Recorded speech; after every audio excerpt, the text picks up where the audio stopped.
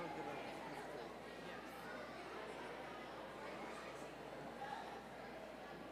Yeah, Derek does. it. No, I do. I do. Oh, okay. Okay. Okay. Yeah, yeah, it'd be good for yeah.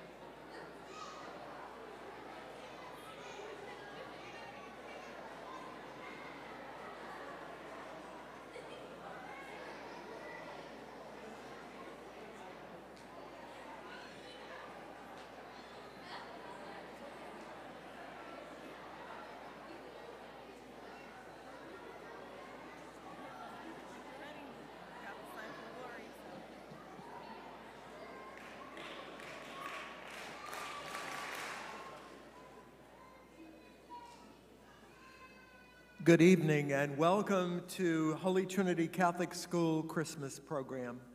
Uh, for those of you who might not know who I am, I'm Father Milton Ryan. I'm the pastor here at Holy Trinity. And it is such a privilege for me as the pastor here to present these children to you tonight. These extraordinary people who have worked very hard for this presentation tonight. They're going to be leading us in prayer and leading us joyfully and um, giving witness to the investment that you, parents, godparents, grandparents, extended family, uh, have in the formation, spiritual formation of these children. I thank our principal, Mr. Mrs.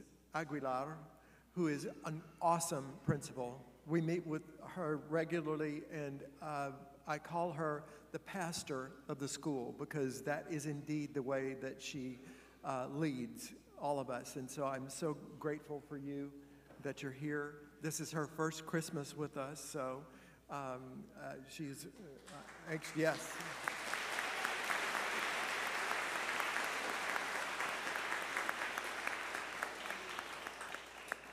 And for our, our kids also, you are awesome. And uh, we needn't look further than yesterday when we had that extreme emergency and you had to evacuate the classrooms and everything. I want to compliment you for behaving beautifully, for following all our protocols and doing what needed to be done in response to what could have been a serious uh, problem and mercifully uh, got fixed quickly. So uh, I want to thank your teachers for all the ways that they continue to inspire you and lead you and love you. And, um, and, and especially our benefactors. Uh, some of you may not have children in the school, but you're here and you're a benefactor. Thank you, because this investment in the future of the church is, you can't measure it. Every little thing that we do for our kids, every little example that we show them of Christian living, of what it means to be a follower of Christ, makes a difference.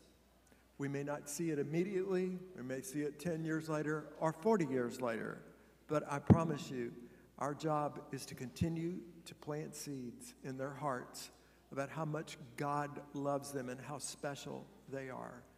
And so please stand and let us pray. In the name of the Father, and of the Son, and of the Holy Spirit. Lord Jesus, we thank you for the many gifts that you have bestowed upon our parish community, especially the gift and privilege of being able to um, run Holy Trinity Catholic School. We thank you for our parishioners who continue to pay over half of our tuition for all of our students, and even beyond that. We thank you for um, the gifts and talents that you've given these beautiful children and for the ways that they are celebrating you as they share those talents with us tonight. And we always ask for the intercession of our mother. Hail Mary, full of grace, the Lord is with thee. Blessed art thou among women, and blessed is the fruit of thy womb, Jesus. Holy Mary, Mother of God, pray for us sinners now and at the hour of our death. Amen. You may be seated.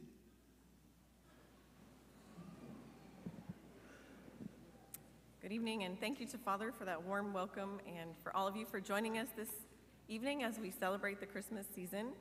A few quick announcements before we begin. The restrooms are in the back of the church. We ask that you please keep the aisles clear so that our students who are acting out Las Posadas can pass by. And in addition, our students in pre-K through first grade, uh, after they perform their song, they'll re- be returning to you, their parents. So if you could please stay in your pew and uh, you can stand and wave at us, and the teachers will bring them to you, uh, so that again we're not all rushing up here and we can continue with with the program. So, uh, muchas gracias a todos por estar aquí con nosotros y gracias a Padre por esa uh, bienvenida tan, uh, tan amable. Estamos aquí a celebrar la, Navidad juntos y nada más algunos recordatorios antes que empezamos. Los baños están aquí atrás y por favor si pueden mantener los pasillos libres para que, nuestros estudiantes uh, que representan las posadas puedan pasar. Y también nuestros estudiantes de pre a, a primer grado van a regresar con sus padres al terminar de su canción. Si ustedes pueden quedar en sus bancos y nada más, nada más pónganse de pie y podemos re regresar sus niños a ustedes.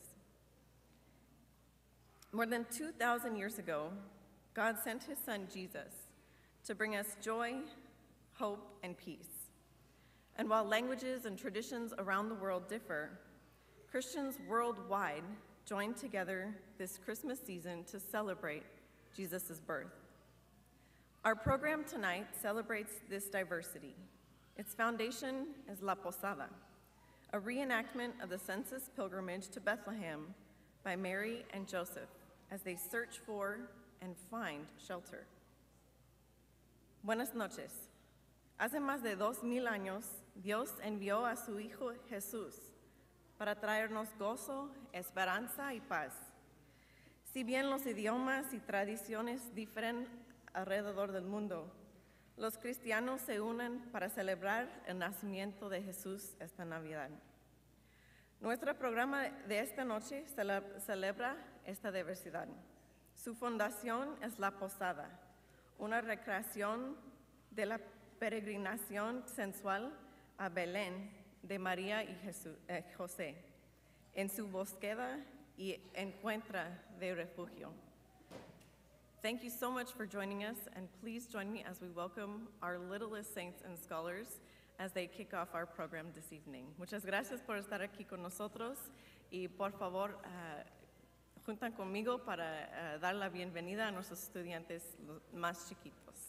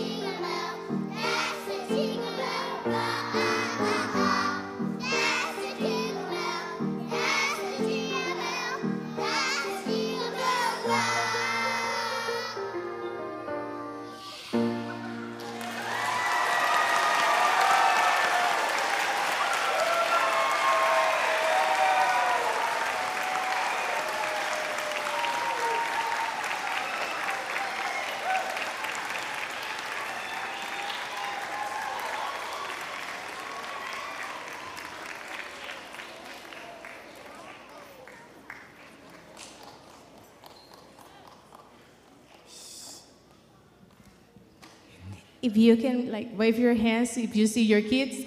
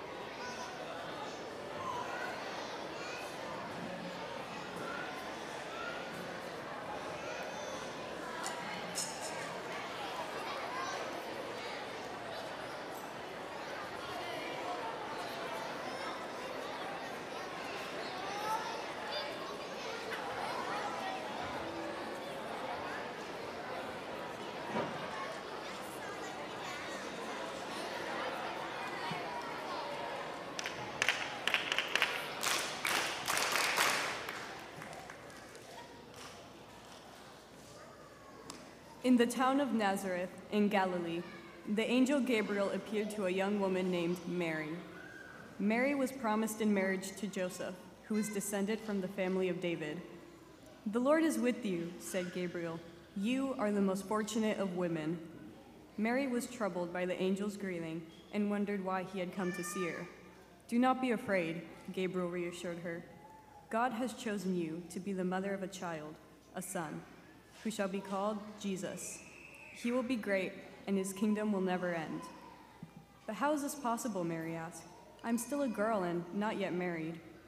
The Holy Spirit will come to you, and God's grace will be with you, for your child will be known as the Son of God. At these words, Mary knelt before Gabriel and with head bowed replied, I am obedient to God's will and shall be prepared for whatever you wish me to do. She looked up, but the angel was gone. The angel also told Mary that her cousin Elizabeth, who had wanted a baby for many years, was also pregnant and about to give birth. Mary hurried into the hills of Judea to visit her. As Mary entered the house and called out in greeting, Elizabeth felt the baby leap for joy in her womb. She felt the presence of God all around her, making her aware that this woman was the mother of the Son of God. You are the most blessed of all women, Elizabeth exclaimed. When I heard your voice, I felt my baby move inside me. How honored I am that you have come to be with me. Mary stayed with Elizabeth for three months, then returned home to Nazareth.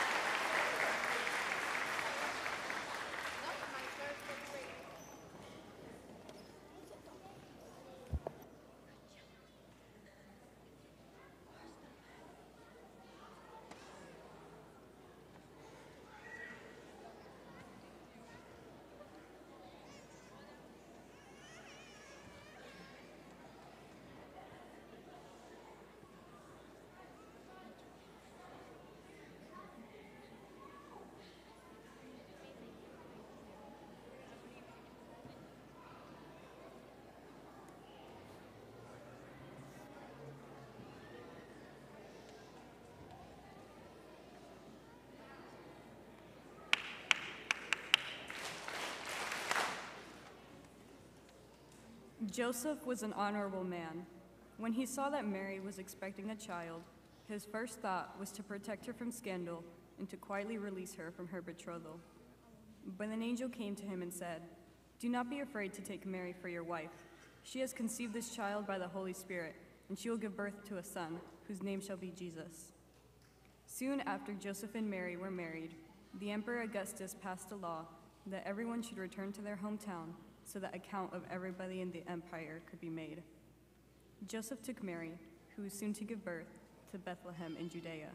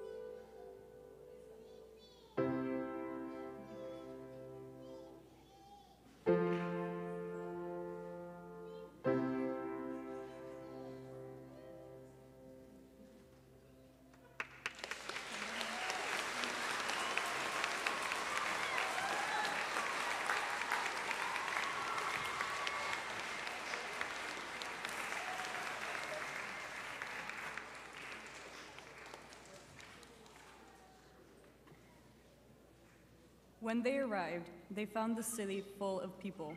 The streets were crowded, and every house and lodging were already full.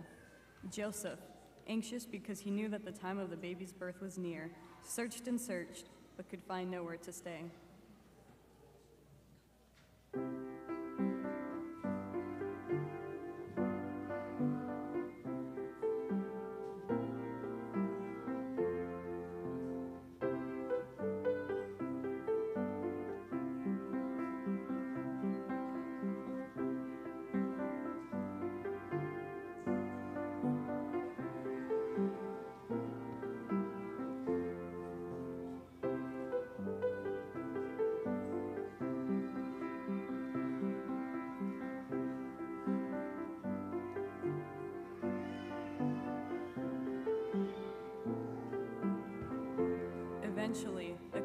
Innkeeper offered them a stable where they could be inside and warm. Joseph and Mary, worn out by their journey, gratefully accepted his offer.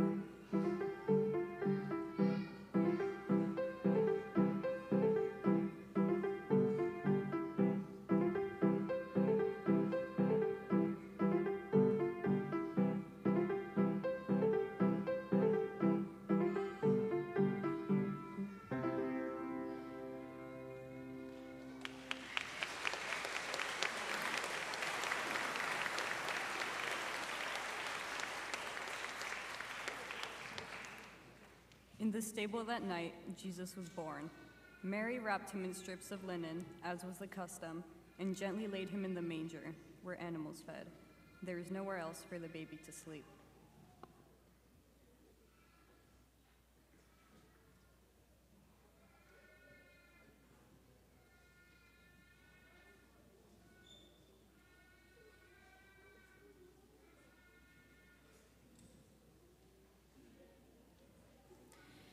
In the fields near Bethlehem, there were shepherds tending their flock.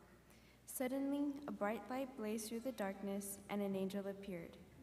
The shepherds, terrified, hid their eyes, but the angel reassured them. I bring you good news. Today in Bethlehem, a child has been born who will be the Savior of all people.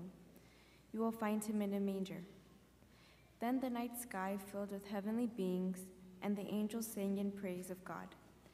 They spoke of peace on earth and friendship among everyone. After the angels, the shepherds said, We must go at once to see the child.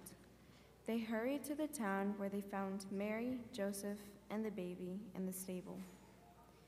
Excitedly, they described what they had seen and heard, and went away praising God. Only Mary was silent, thinking quietly to herself of all that had happened.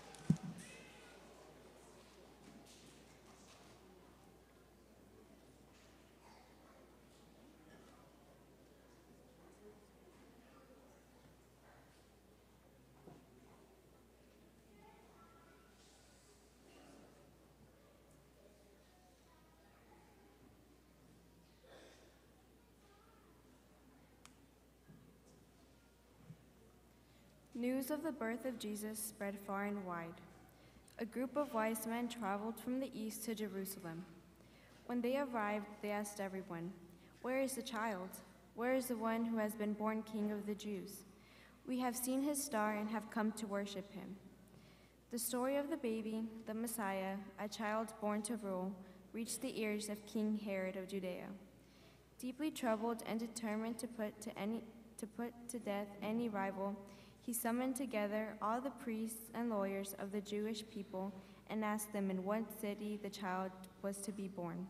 In Bethlehem, they told him. Then, privately, Herod sent for the wise men, and pretending to be as religious as they, questioned them closely about the star, where they had seen it, what time it had appeared. Go to Bethlehem, he said. Make a thorough search for the child, and when you have found him, come and tell me, for I too wish to go and worship him.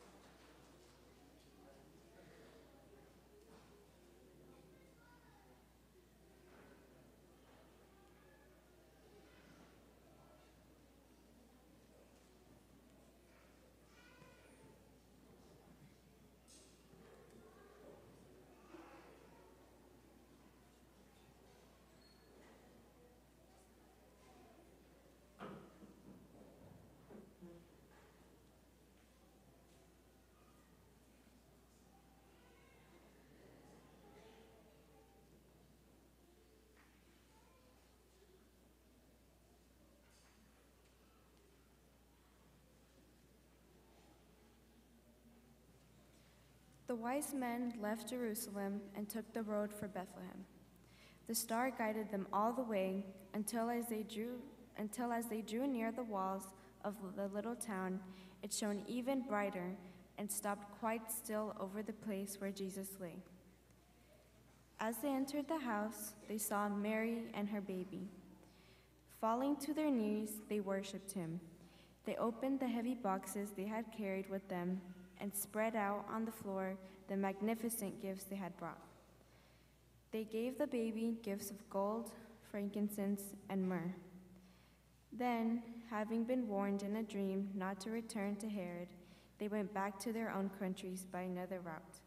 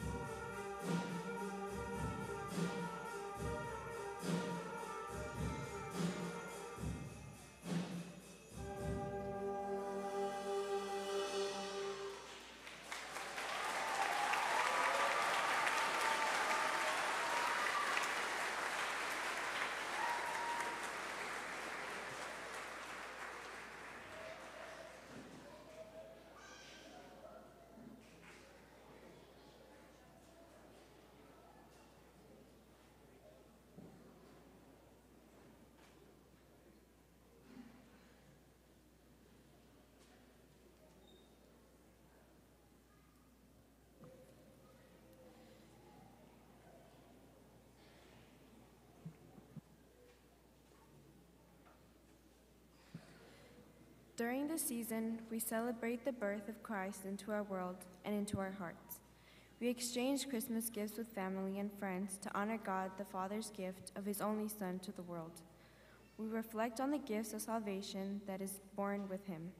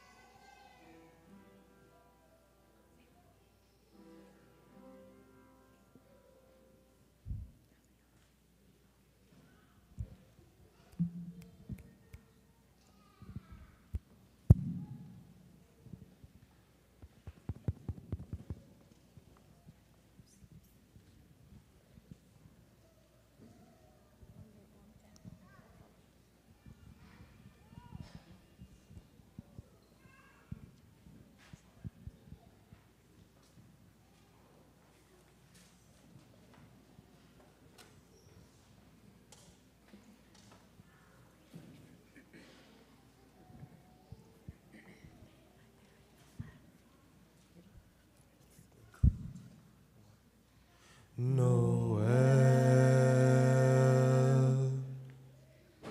Noel,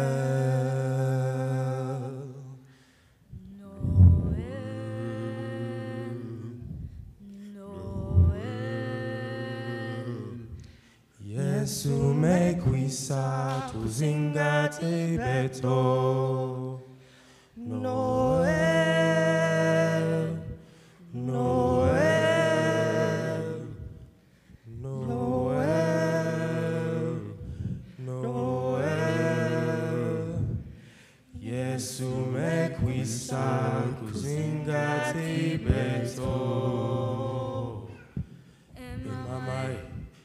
Emamai, emamai, emamai, emamai,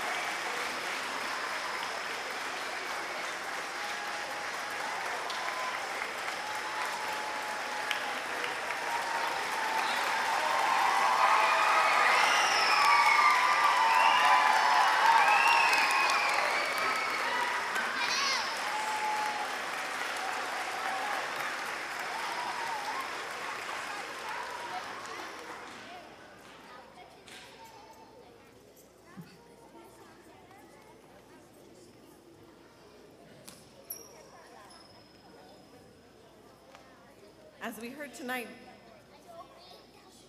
Jesus is the gift to our world. He brings light and salvation. And what a beautiful way to celebrate the gifts He has brought to each of us and our children and in their beautiful gifts and talents. Thank you for being here tonight to join with these beautiful voices and hands to praise the Lord. Thank you to each of you who are parents of band and choir students who sacrificed coming early and staying late so that they could share their gifts with us. We are so grateful to each of you for joining us and for celebrating with us this Christmas. Jesús es el regalo de nuestro mundo. Y qué bonita que podemos celebrar juntos los regalos que son nuestros niños, los voces, los talentos que podemos unir juntos para dar gracias al Señor. Gracias a todos los padres de los estudiantes del banda y del coro para venir tan temprano, para quedar tan, tan tarde, para que sus niños puedan crecer en sus talentos. Y gracias por venir a celebrar con nosotros. Pedimos, uh, si ustedes, oh, sorry, I forgot, let me switch back to English. this Christmas season, may the Lord bless each of your families and bring joy and happiness to you. We wish you a very Merry Christmas, but before we celebrate and end, I would be remiss if I didn't celebrate the gifts and talents of one particular person on campus who makes all of this possible.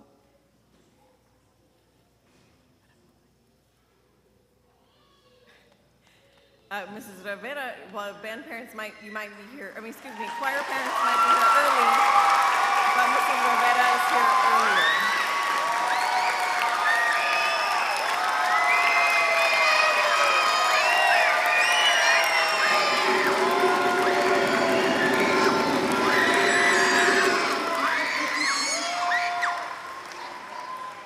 It is truly an honor and a privilege to work with you, and I cannot thank you enough for the talent you bring out of our students and help them to understand the incredible gifts that the Lord has given them. Thank you. Y gracias a la señor- señora Rivera, es un placer y privilegio a trabajar con usted y especialmente a ver nuestros estudiantes creciendo y aprendiendo los talentos y regalos que nos han dado el Señor. Muchas gracias por todo.